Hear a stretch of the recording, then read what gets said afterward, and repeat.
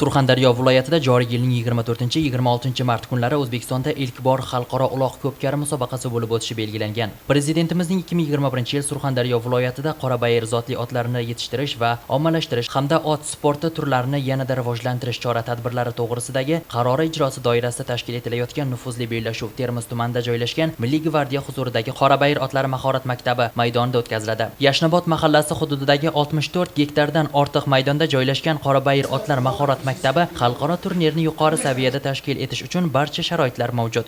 Sportni rivojlantirish vazirligi milliy olimpiya qo'mitasi milliy gvardiya o'zbekiston uloq ko'pkari federatsiyasi va viloyat hokimligi hamkorligida o'tkazilishi belgilangan mazkur turnir oldidan termiz shahridagi matbuot uyida jurnalistlar va blogerlar uchun matbuot anjumani bo'lib o'tdi. Турнирға бірінші рет келіп жатырмыз турнирда сегіз команда келді дейді. Сегіз команданың ішінде ресей мемлекеті қазақстан мемлекеті және де осы алты облыс өзбекстан мемлекетінің аты облысынан келген командалар. Енді осы командалардың арасынан жаңа айтты ғой сегізі ойнайды. Кім бір ұтылады сол ойыннан шығады. Одан қалған төртеуі ары қарай ойнайды. Құда қаласа енді бірінші орынға ойнаймыз деп ниеттеніп келдік. Бұйырғанын енді көреміз. Сол басқа енді айтатынымыз өзбек мемлекетіне осындай ойындар көбейе берсін. Осындай үлкен деңгейде болсын халықаралық дәрежедегі үлкен турнирлер көп болсын. Только ресей мен қазақстан емес басқа да келіп жатқан қырғыз мемлекеті бар ауған мемлекеті бар тәжік мемлекеті бар басқа да көп мемлекеттерден осындай үлкен турнир болуына біз тілектеспіз anjumanda qator qo'shni davlatlardan kelgan mehmonlar so'zga chiqib mazkur nufuzli xalqaro turnir va unda turli davlatlardan ishtirok etayotgan sportchilar o'rtasida o'zaro hamdo'stlik munosabatlarini yanada mustahkamlashi haqida fikrlar yuritildi. Біз турцияда болғанда жиырмасыншы жылы последний соңғы жаңа жиналыста елу алты государство жиналды елу алты государствоның ішінде оказывается на тот момент единственный страна национальный вид школа бар екен и национальный вид школалардың өзінің бюджеттері бар екен бюджеттер көкпаршыларға тренерлерге каждыйына по отдельности зарплата береді екен енді міне құда қаласа өзбекстан мемлекеті қосылып жатыр біз қуанамыз только осындай көкпар көбейсе шабандоздар көбейсе и мынандай көкелеріміз болса ат ұстайтын сол нелерді көкпаршыларды поддержать ететін ағалар болса ат алып беретін мынандай көкелері болса осындай нені көтеріп біздің национальный вид қой. Бұл қазақтың көкпары емес бұл қырғыздікі емес бұл өзбекстікі емес бұл мұсылмандардың ойыны мұсылмандардың ойыны бұл ойын бізде өсе берсін көбейе берсін. Барлық жерге барып шабайық. Турцияда барып шабайық кочевник болады қырғызстанға барып шабайық өзбекстанға көп келді мен наманганға барғанмын.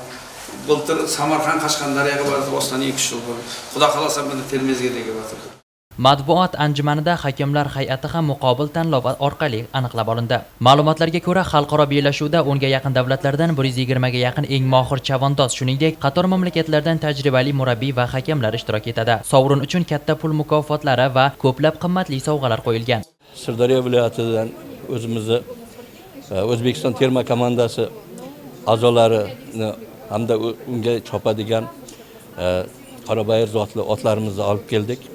Bugungi mana shu xalqaro anjumanda qatnashar ekanmiz. Bizlarning mana shu e, bugungi katta bir anjumanga e, juda ham keluvchilar kelishni xohlovchilar ko'p bo'lgandi. Lekin shularning ichida eng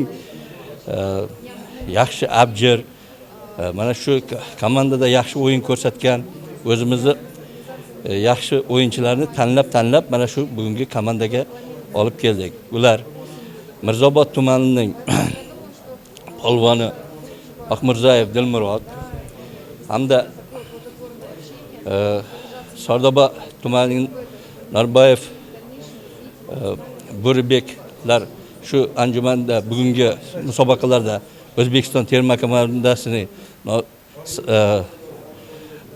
jamoasida qatnashib o'zimizni o'zbekiston e, sharafini himoya qiladi. Albatta bu o'yin bizda tarixda qoladigan ajoyib bir yaxshi e, taassurot uyg'otadi deb hisoblayman. Hamda bugungi o'yinimiz nafaqatgina bizlarning mana shu yerda qatnashuvchilar butun o'rta osiyo hamda butun e, jahon xalqlariga uloq ko'pkari ot sportining rivojlanishiga juda ham katta hissa qo'shadi deb men umid qilaman. Мы очень рады, что э, Узбекистан принял на себя такие обязательства, как проведение международного турнира по УЛАКу к Пари. И, безусловно, Российская Федерация не могла остаться в стороне и не принять участие а, в этом международном турнире. Для нас а, очень важный обмен опыта между спортсменами, между руководителями и, конечно же, э, посмотреть весь национальный вот колорит и красоту Узбекистана. Поэтому огромная благодарность вашему президенту, Национальной гвардии, Федерации УЛАКу Пари за предоставленную возможность посетить вашу замечательную страну, э, привести сюда своих спортсменов и э, действительно поучаствовать в таком грандиозном мероприятии. musobaqa jarayonlari haqida to'liq xabar va lavhalarni diyor 24 rasmiy sayti orqali kuzatib borishingiz mumkin